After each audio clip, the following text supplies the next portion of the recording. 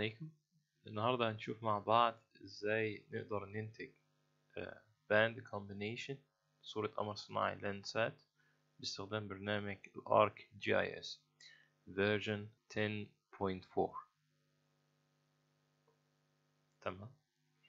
زي ما شفنا في الفيديو اللي فات آه، إن صورة القمر الصناعي Landsat بعد ما بننزلها ونفك الضغط بتاع الملف بتاعها بنلاقيها 12 band ومرفق معاها الملف الخاص بال metadata تمام. عشان نبتدي ننتج band combination محتاجين نجمع ال bands اللي عايزين نعمل band combination منها في ملف واحد. مش هنقدر نعمل band combination من خلال الملفات وهي كل band لوحده زي كده. محتاج نجمعهم مع بعض في ملف واحد.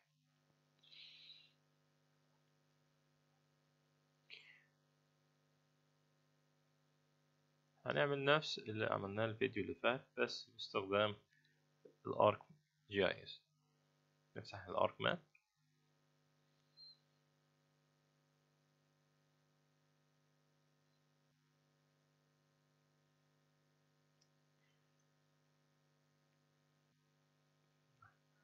ال ArcGIS برنامج فيه tools كتيرة جدا. tools ال tool اللي هنستخدمها عشان ننتج ال band combination اسمها composite bands. تمام؟ عشان نوصل لها في أكتر من طريقة. ندور عليها بالطريقة التقليدية. نفتح ال ArcToolbox أول بار عندنا موجود. تمام؟ يسموه standard bar في في الجزء ده ال ArcToolbox نضغط عليه.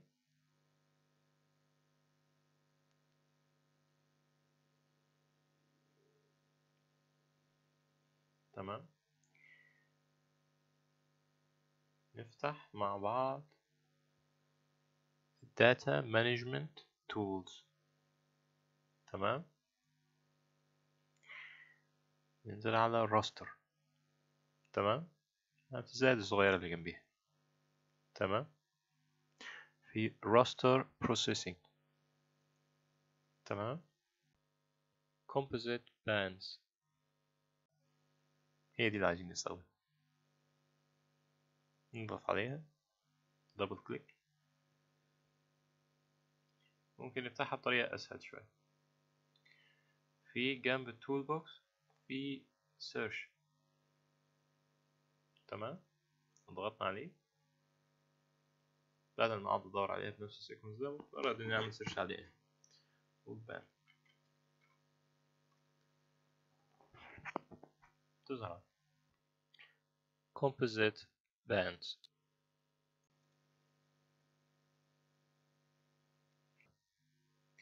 نبتدي نضيف ال bands اللي عايزين نلحمهم مع بعض. نضغط هنا. already فاتح الصورة بتاعتنا بس الفكرة إنك تعمل navigation لغاية ما توصل لل folder الخاص بالصورة. ولو فاتح البرنامج لأول مرة فهتحتاج تعمل connect لل folder اللي انت شايل فيه الحاجة. تمام؟ نعمل connect this PC شوف هي موجودة في أنهي partition. تمام؟ وتدوس okay تقدر تعمل navigation لغاية ما توصل للمكان بتاع الصورة اللي أنت شايلها تمام؟ إحنا اتفقنا في الفيديو اللي فات إن في أول جزء لينا هنشتغل على أول سبعة band بس. تمام؟ هنختار أول سبعة band أهو band رقم واحد. Add. band رقم اتنين. Add. band رقم تلاتة. Add. band رقم أربعة. Add. band رقم خمسة. Add. band رقم ستة band رقم سبعة. تمام؟ حددنا ال bands اللي عايزين ندمجهم مع بعض. نحدد ال location ال output اللي الصورة هتخرج فيه.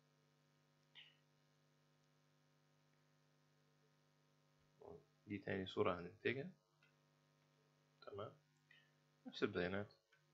هي هي نفس الصورة؟ اشتغلنا عليها في الفيديو اللي فات. ألفين وستاشر. هنا إحنا محتاجين نختار ال extension اللي إحنا عايزين نخرجه فيه. ولا هيخرجوا ال extension ال default بتاع بتاع البرنامج. تمام؟ أنا أفضل نشتغل على ال extension dot img نكتب dot img عايز تخرجه TIF dot T F خلينا في dot img تمام. نقول save لازم الجزء ده نخلي بالنا منه قوي في ال tool دي وأي tool شبهها في ال Arc عموما يعني. تمام. نقول OK.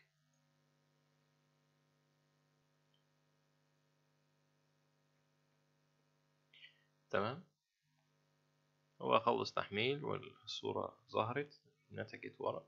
في البرنامج ال Arc عموما في function فيه إنه يعمل ال loading بتاعه في ال background تمام؟ فممكن ما تظهرلكش نافذة زي دي. وتظهر لك بار صغير هنا يقعد يحمل في الجزء ده. تمام؟ نتصفح كده الصورة اللي نتجت.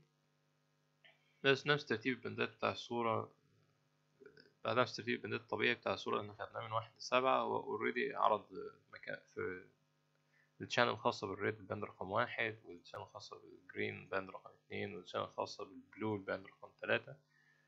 أه لكن إحنا عشان ننتج true color composition هنعرض ال band المسؤول عن اللون الأحمر في ال channel الخاصة باللون الأحمر هو ال band رقم أربعة زي ما شفنا في الفيديو اللي فات وال band ال green اللي هو band رقم تلاتة.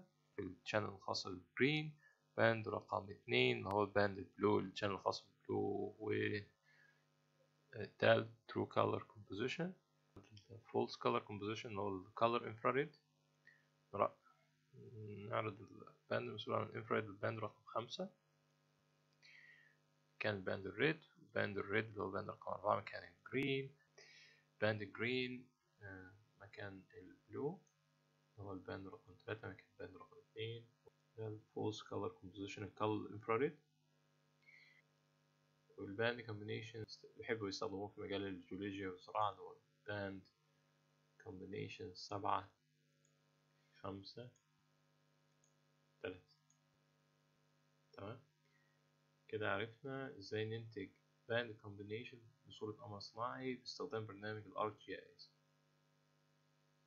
نشوفكم الفيديو الجاي.